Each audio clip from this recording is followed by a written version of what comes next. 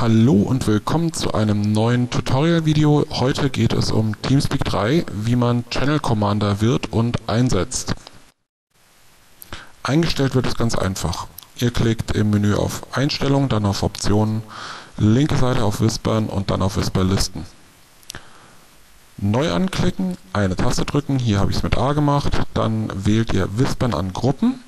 Ihr bekommt zwei neue Dropdowns. Dort sagt ihr Whispern an die Channel Commander und zwar in allen Channels. Dann ist es egal, ob die in Subchannels oder höher gelegten Channels liegen. Diese Einstellung nimmt natürlich jetzt jeder vor, der als Channel Commander agieren will. Als nächstes muss jeder auf seinen eigenen Namen einen Rechtsklick machen und Channel Commander auswählen. In dem Moment ändert sich das Symbol vor dem Namen zu einem anderen Lautsprecher. Jetzt funktioniert das ganz einfach so. Ihr drückt eine Taste, wenn ihr mit anderen Channel Commandern kommunizieren wollt.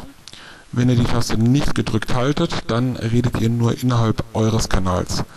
Das Schöne daran ist, dass euer Team in eurem Kanal nichts hört, wenn ihr mit anderen Channel Commandern sprecht.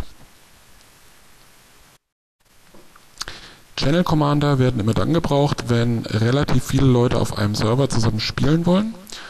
Denn erfahrungsgemäß, sobald ca. sechs Leute in einem Teamspeak-Kanal gleichzeitig drin sind, reden zwei, drei Leute nur noch aktiv und die anderen sagen gar nichts mehr.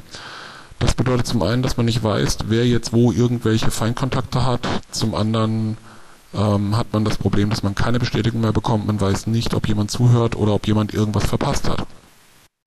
Die Lösung ist dann, dass man verschiedene Kanäle aufmacht, in die jeweils halt eben kleine Teams, maximal sechs Leute reingehen. Dann hat man nur das Problem, wie soll das eine Team mit dem anderen Team kommunizieren, ohne wieder alle Leute zuzuspammen. Und dafür gibt es die Funktion der Channel Commander. Die Idee, in jedem Kanal ist ein Channel Commander. Wenn er eine bestimmte Taste drückt, kann er mit dem Channel Commander oder den Channel Commandern in anderen Kanälen kommunizieren. Drückt er die Taste nicht, spricht er immer nur innerhalb seines eigenen Kanals. Ich hoffe, das war hilfreich. Jetzt müsst ihr eigentlich nur noch subscriben, das Video bewerten und natürlich immer einen Kommentar hinterlassen, ob das gut oder schlecht war und vor allen Dingen, wenn es schlecht war, was das nächste Mal besser gemacht werden soll.